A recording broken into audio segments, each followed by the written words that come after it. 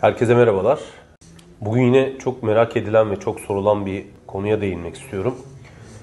Rahim içi polipler kısırlık yapar mı ya da rahim içi polipler düşüşe sebep olur mu? Bu konuyla ilgili elimizde çok fazla veri yok aslına bakarsanız. Ancak rahim içi poliplerin genel kanı eğer kısırlık durumu yani infertilite durumu varsa çıkarılması yönünde. Rahim içi polipleri çıkarttıkları çok büyük bir çalışma var böyle özellikle aşılama yaptıkları hastalarda. Bu çalışmada rahim içi polipleri çıkarılanlarda gebelik oranları 3 kat daha fazla olduğu için genelde çocuk istemi olan hastalarda rahim içinde polip tespit ediyorsak çıkarıyoruz. Bunda bütün dünya neredeyse en fikir. Ancak bazen e, poliplerle beraber gebelikler de olabiliyor. Gebe kalabiliyor, polibi var.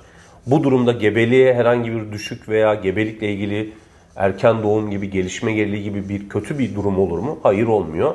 Elimizde genel, e, elimizde çok büyük, güçlü bilimsel çalışmalar yok ama genel kanı polipler varsa gebeliğe zarar vermez.